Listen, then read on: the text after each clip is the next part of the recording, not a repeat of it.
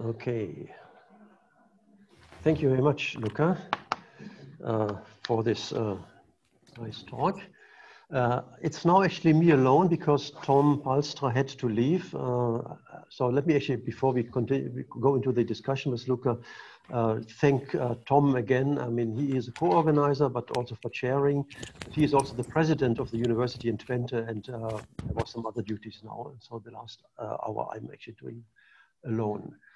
So are there questions to Luca? Actually, I don't see a, a written question at the moment. Uh, uh, so maybe someone wants to raise the hand. All right, a question.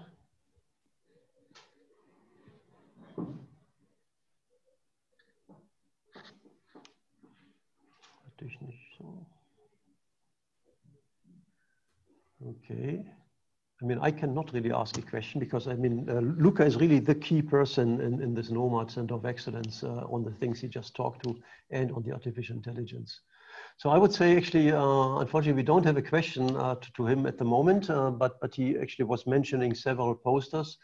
And uh, I'd like to use this chance again to remind you that there is a poster session tonight and tomorrow night, and just really take the chance and look really what has been built there. There is actually a, a hands up by Giulia Galli. Is that, uh, let me see.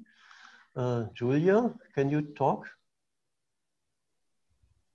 Yes, hi. Uh, thank, thanks, Luca, for your talk. So uh, it, it's a question that in a way has already been asked also by other uh, two other uh, speakers. At the end of your talk, you mentioned that you are um, suggesting that people also um, you know, have notebooks or Jupyter notebooks or whatever, right, to describe their calculation and that they make those available. So what are the incentives for uh, making those available? Again, you know, a matter of incentive and how do you convince people to do so? For, you know, I do think this is a great idea. I think people should do the, this, but how do we convince people to do this? And how do we convince people that they would benefit themselves by doing that?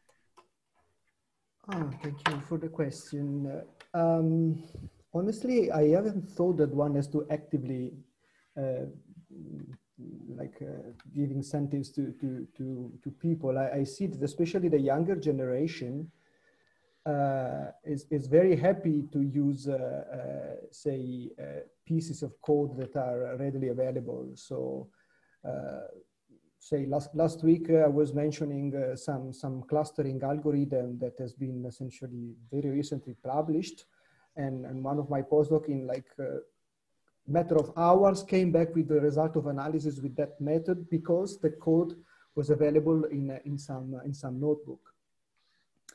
Uh, so I think this this uh, kind of attitude with with the uh, self aggregate in a way having uh, tools ready and, and tutorial notebooks that explain how to use uh, the, the, the, methods uh, on, on, simple applications uh, will be its own incentive, I, I would say.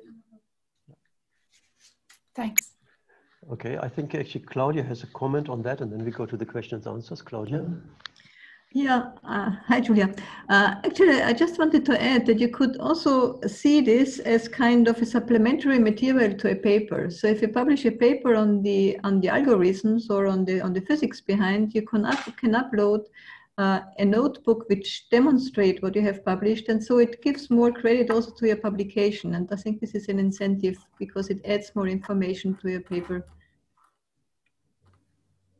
Yeah, thanks, Claudia. I, I totally okay. agree. So I, I, hope that it becomes uh, more and more uh, uh, a matter of habit, as much as it has become already a, a habit to, to uh, make the data available. But the data sometimes is not enough, right? So uh, even the analysis uh, on, on, top of the data would be useful. I, can I just say so for I, I, just to clarify i i'm a big fan of that.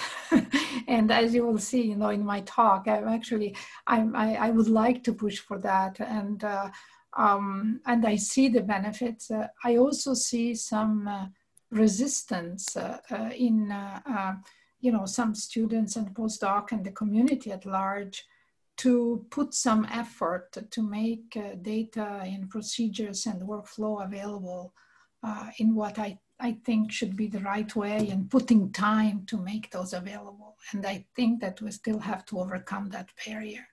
That's, uh, I, I, I, just don't want to you to misunderstand my question. I'm a big fan of what you're proposing. no, I mean, yes, I, I can imagine. Uh, uh I, I, think it's uh, also this is, is uh, changing fast. True.